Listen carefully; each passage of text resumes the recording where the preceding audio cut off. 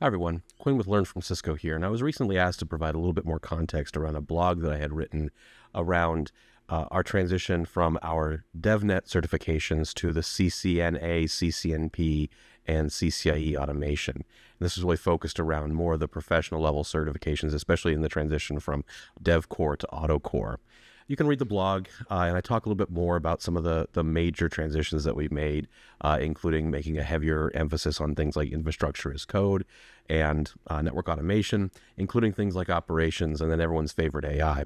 But I really wanted to get into more of the the the reasoning behind it. The the change is not just for change's sake. More of there was a, a, a principled purpose behind this. And if you remember back when the DevNet certs were, were introduced in 2020, uh, the the market was still evolving, and there was a lot of people who were in the automation space that were application developers, or they needed their the networking engineers to become application developers. So we we treated the entire portfolio around how can we upskill those those engineers to become application developers. So focusing on the software development lifecycle, secure coding practices, shift left, and the variety of things that were incorporated with proper uh, coding hygiene and development uh, methodologies. Uh, the market has since shifted, and we don't take any of these changes lightly. We've done exhaustive uh, job task analysis and job um, role analyses to make sure uh, that what we produce from a certification standpoint aligns to uh, really the, the the needs that are in the market.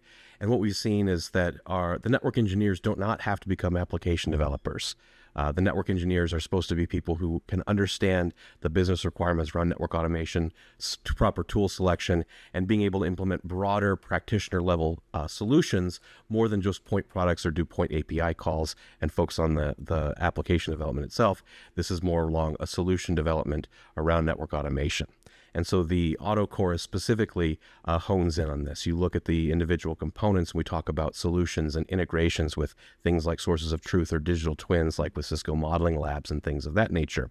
So the focus is meant to cl- more closely align to exactly what we see in the marketplace from our network automation engineers and our network automation developers. We're removing a lot of that software development piece and really focusing on what you, the engineer, have been asked to do in your daily uh, roles, and that's to create scalable, flexible, and robust network automation solutions. And so if you compare the exam topics uh, between the DEVCOR and the AUTOCOR, you'll see that a chunk of the DEVCOR is no longer applicable. And I do touch on this in the blog.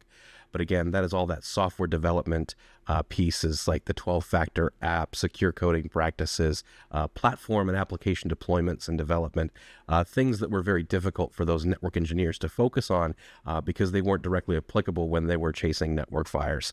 And so we uh, feel that the the test is more uh, complete and really focused on what you as the network engineer are going to be doing in your day-to-day uh, task and that makes studying for that a little bit more easy because you're actually being able to apply those concepts and principles more so than having to study them outside of your of your normal nine to five or your 40 hour work week uh, so again we don't undertake these changes lightly but we do feel that this is going to be a more complete uh, and well-rounded exam that focuses on you the network automation engineer uh, and your abilities to actually perform and build those scalable and robust uh, network automation solutions.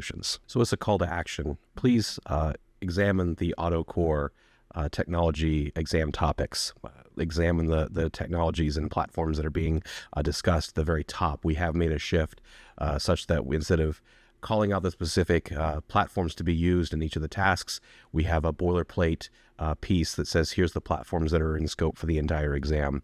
So review the technologies, review the domains and the specific exam items and sub items. Uh, and if you have any questions, always please feel free to reach out to myself. Uh, leverage the Cisco Learning Network, uh, leverage the events if you're able to come in person.